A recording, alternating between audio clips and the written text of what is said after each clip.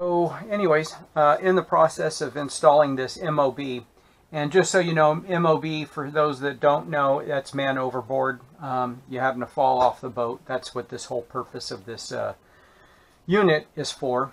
Um, and that's what they call it, an MOB, uh, basic kill switch. Um, so it shuts the engine off. Anyways, so the biggest challenge I saw uh, working in here, or trying to find a place to actually install this, because um, this has to be installed on the boat, um, is an area where you have enough room, because the antenna uh, for the wireless system screws onto the back of this thing. So you got to make sure there's plenty of depth. Um, it does bend a little bit, so you, you can work around wires and stuff like that, but you know you can't put a ton of pressure on it. So um, you do have that. So you have this kind of distance thing that you kind of have to deal with. Um, the other challenge that I noticed is the wiring that they sent me. Um, you know, everything plugs in really nice, kind of like my GPS and my radar system. But the wires are really, I wish they had been maybe a foot or even two feet longer than this. This is kind of short. So I may have to splice some wires um, to reach the ignition because this is where this is going to tie into. This is the old manual uh, kill switch right here, this little plug down here. And um, this is what is going to be replacing that. Unfortunately, there's not enough room in here to install this. There's there's too much other stuff or there's uh, uh, other parts of the boat that's just in the way and I looked at all different kinds of configuration. I was looking at maybe putting it in here, but then you're running into another wall. Um, I was looking at maybe in this area. Unfortunately, you have a huge wire loom that's right about here where the ignition system and all this kind of stuff goes into a big wire loom. So trying to put it here wouldn't work, and this is too small of a gap here. Um, I was thinking maybe even side here, but there's a big reinforcement for the steering system and uh, it runs way out here, so didn't leave enough room for that. Um, this side would have worked. Unfortunately, there's a lot of other stuff right here uh, for the steering as well. Part of the steering kind of comes out a little bit. And um, so, and plus this is really thick. It's like an inch, inch and a half thick uh, plywood here, or not plywood, but whatever wood that, uh, like balsa wood or something that they use. The only other logical area that made some sense for me was this. Because down here, this goes into the cabin, and I certainly didn't want anything to bump the uh, antenna um, or bump even the back of this thing by accident with, you know, fishing gear or whatever the case might be. So this seemed to be the most logical. Plus, this is just a plate, and it's it's a nice plastic plate. It's probably I don't know if you guys can see that, but it's probably maybe a quarter inch thick. So it was real easy to go through with my hole saw. And I took a 2 and a 16th inch hole saw, went right through, and um, now this can go, and there's plenty of room too for the antenna and everything. Um, so this just fits in there real nice and snug just kind of get it where you want it and that's pretty much going to be right about where it needs to be and then there's a nut that goes on the back side of it. So that's going to be the spot for it. The only thing that looks like I'm going to have to do is probably add some wire to this. Didn't really want to have to do that. I love when things are just nice and clean and I could have just butt connected right to the ignition system but uh, unfortunately I'm going to have to put in probably a foot foot and a half of sectioned wire to go from here to that ignition system. So anyways, I'll bring you back when I have a little bit more to show, but that's pretty much it right now.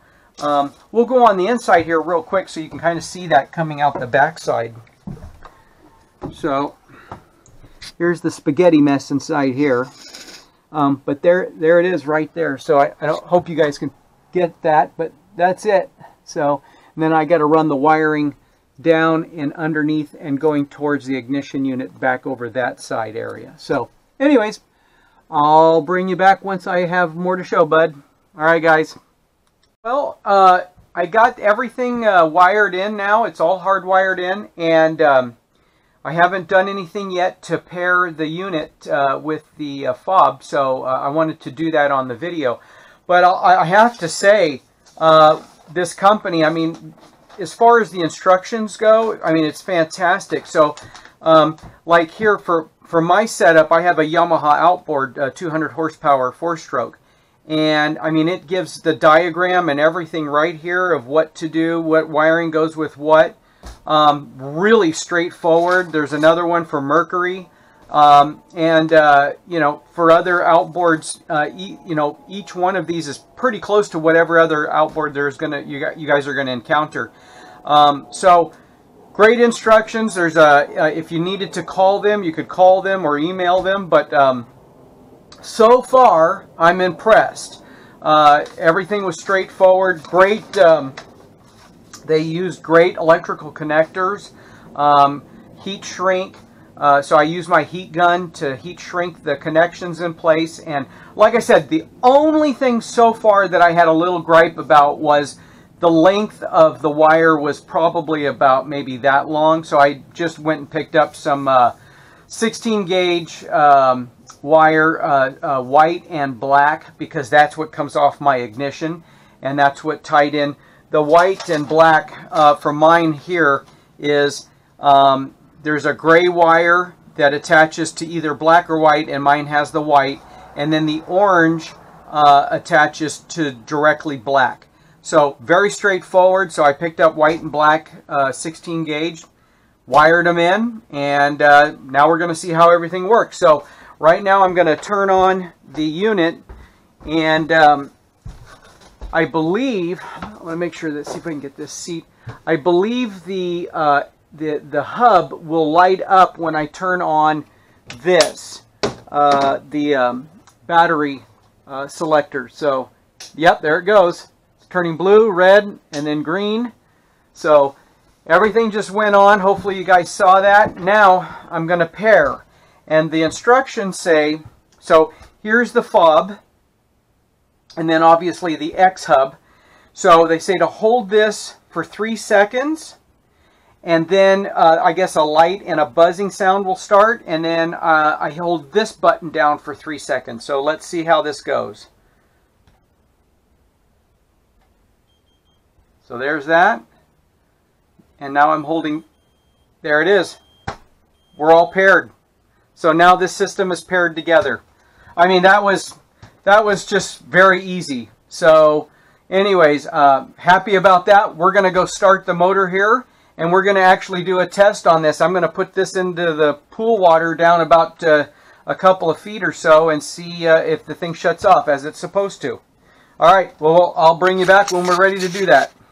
Let's give this a whirl. So I'm looking at the X and I'm going to push the little button here and let's see what happens. Oh, look at there. See? Now that's what's supposed to happen. Let's go ahead and fire the motor up. Oh, success. I like when a plan comes together. All right. So let's go on out now and uh, check this out.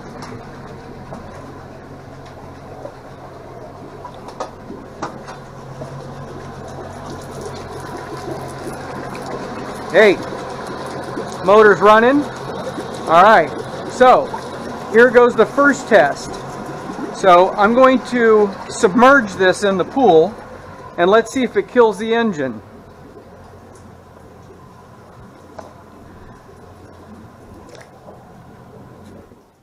How about that? Killed the motor. That's pretty damn good. So motor shut down just like it's supposed to. Just like if uh, yours truly here fell out of the boat, which would be a really bad deal. So, that's test number one.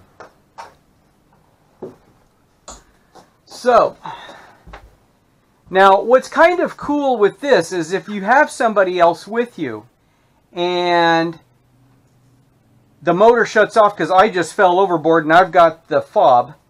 Uh, after a few seconds, I think it's like after 10 seconds, they can come in here, turn the ignition off, and then start the motor up without the fob.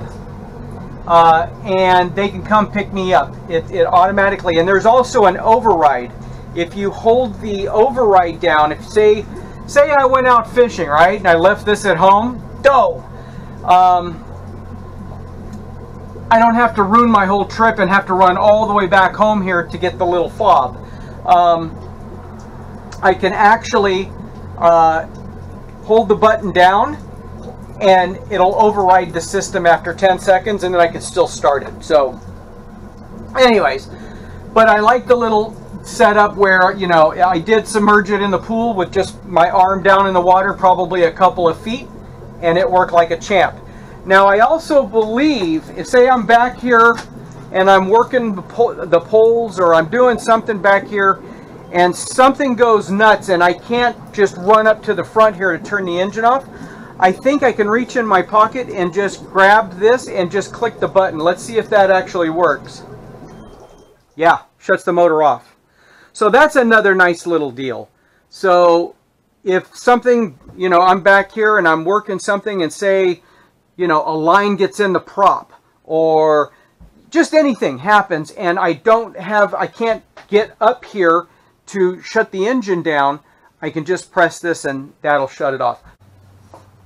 They do have uh, several things that you can um, get with this fob, which I'm going to look into probably a couple of them. Um, one of them, I don't know if you can see here, one of them is a wristband. And that looks kind of cool. I think I saw it for like 30 or 40 bucks. Um, you have to buy it separately, but you can just get a wristband, and then I believe this fob attaches to that wristband. So that's one, and then there's another one that you can wear around your neck. Um, that's another possibility.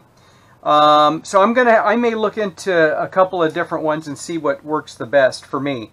Um, but you know, for right now, I mean, just having it in my pocket is enough. As long as it's on me when I'm fishing, that's all that matters. Yeah. Hey guys, so I just wanted to also share with you real quick. Um, you probably saw I have two outboards on there.